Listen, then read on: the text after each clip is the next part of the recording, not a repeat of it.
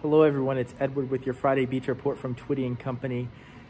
We are dealing with heavy rain. We've had one or two uh, days without rain this week, but we've had several inches over the past week.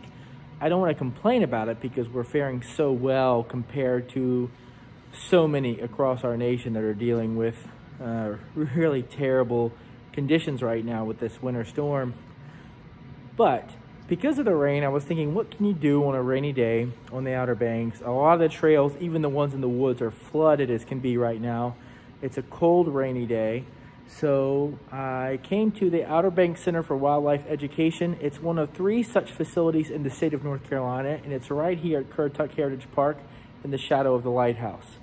So I'll show you a couple little clips of the exhibit here and I hope you enjoy it. And if you're here on a rainy week, such like this one, it would be a great thing to do while you're on vacation.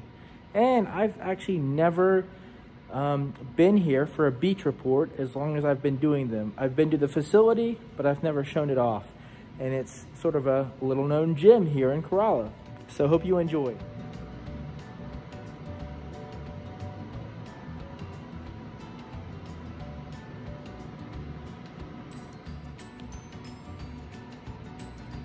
Behind me there is a write-up of Ambrose Twyford, known by everyone as Hambone. I guess this is some of his net and might be his boat too, or one of them.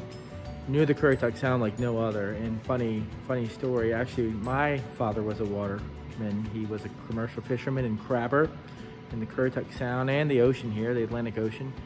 But Hambone used to come by our house by boat when I was growing up, and you'd look out the window and just see this guy walking around the yard, and and that was Hambone. He he would never come up and knock on the door. He just walked around the yard until someone saw him and came out, and uh, he would spend the whole day talking to my dad. Uh, it's kind of kind of a trip down memory lane in here.